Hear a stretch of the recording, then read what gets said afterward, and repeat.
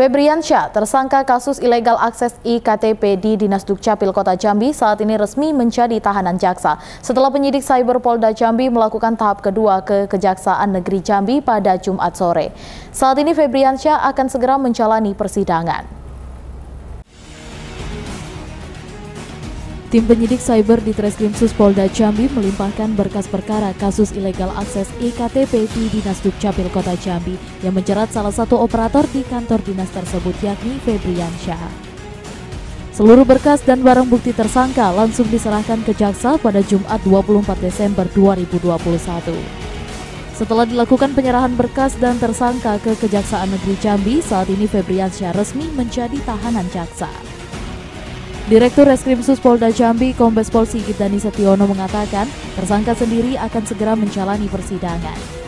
Setelah melimpahkan tahap dua perkara ini ke kejaksaan, saat ini penyidik akan segera membidik tersangka baru dalam kasus ini.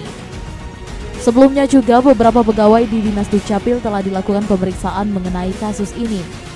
Sebelumnya dalam kasus ini, Febrian Syah yang merupakan operator pencetakan EKTP diduga melakukan ilegal akses pencetakan EKTP yang menyebabkan data di chip dan yang tertera di KTP tidak sesuai.